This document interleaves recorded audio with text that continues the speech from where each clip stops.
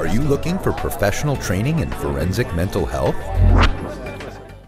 Interviewing really needs to be thought of as a data gathering opportunity um, that may seem self evident, and yet, if you read transcripts of people's notes, and I will get back to how that occurs, um, you frequently find that people who are supposed to be doing forensic interviewing are not doing forensic interviewing. They are essentially sitting down with people and doing much the same thing that a treatment provider would do, which is to simply let people talk about what they want to talk about and let them ramble on, whether it does or doesn't relate to the issue of custody.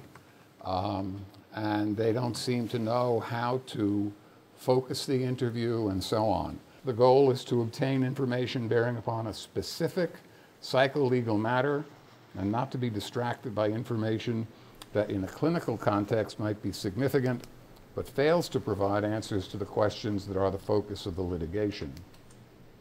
So, the whole thing really needs to be looked at from what I refer to as a structural perspective. I, I, call them basics, and yet, unfortunately, there's a lot of evidence that some of our colleagues don't even know the basics. So I'm calling these fundamental elementary basics, just to make the point. So, Jay will handle the tough stuff. You like my illustration, Jay? I do. Psychological testing in custody litigation context. What are we looking for?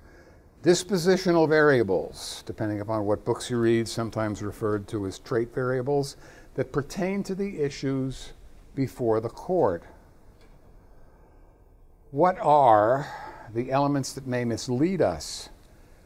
Situational variables, also known as state variables, context determined emotions, stated positions and behaviors, stuff that's really related directly to the litigation that may not have been present before the litigation started, may not be present after the litigation is over, um, and characteristics that do not pertain to the psycholegal issues before the court.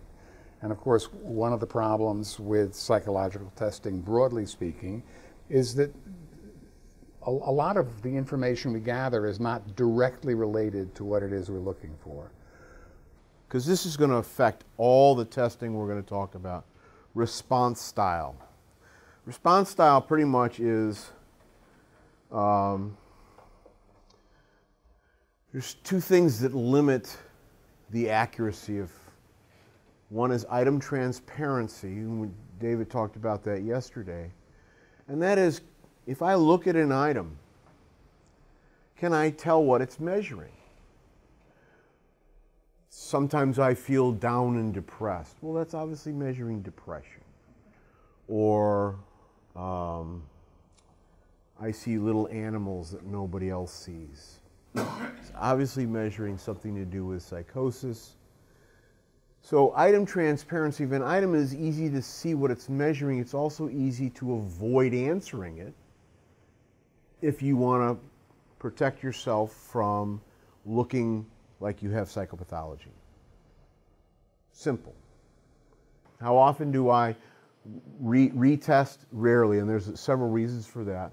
One is the research on retest, um, there's some, some work by Butcher and another one by, uh, it's in here, we'll get to it. But what happens is the person takes the test again. You have to have a specific instruction set. So by changing the instructions, you've already invalidated the test. To learn more about Concept's professional training opportunities, visit us at concept-ce.com.